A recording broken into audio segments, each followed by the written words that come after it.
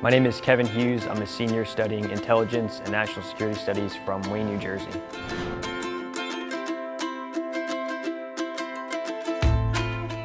Yeah, Wayne's a vibrant uh, suburb outside of New York City, about 20 miles out of Midtown Manhattan. Growing up, I had the opportunity to be raised in Packanack Lake, uh, which is where I found my passion for the outdoors and for sports.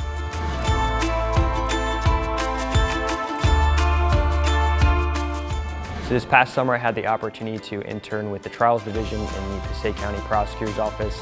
Following that, I had the opportunity to intern as well here in Horry County with the Sheriff's Office, which has transitioned over to a task force that I'm now part of.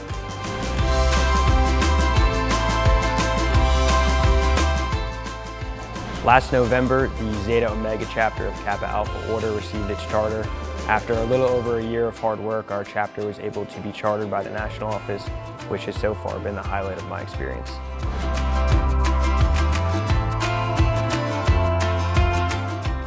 Coastal is an unbelievably vibrant university. Inside the classroom, the learning experience exceeds far further than textbooks and PowerPoints.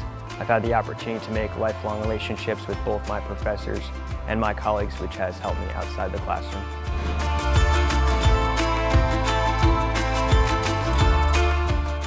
Confidence uh, when whether refereeing youth sports or adults, being able to have confidence in your decision making and instincts is extremely critical.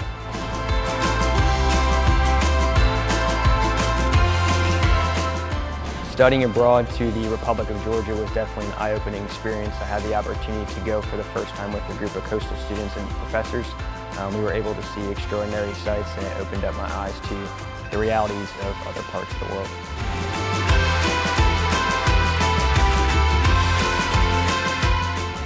GroupMe. GroupMe has helped me connect with my friends back from high school that I still stay in touch with, keeps me in contact with my fraternity brothers, and it allows me to work on group projects and stay instantly in contact with everybody.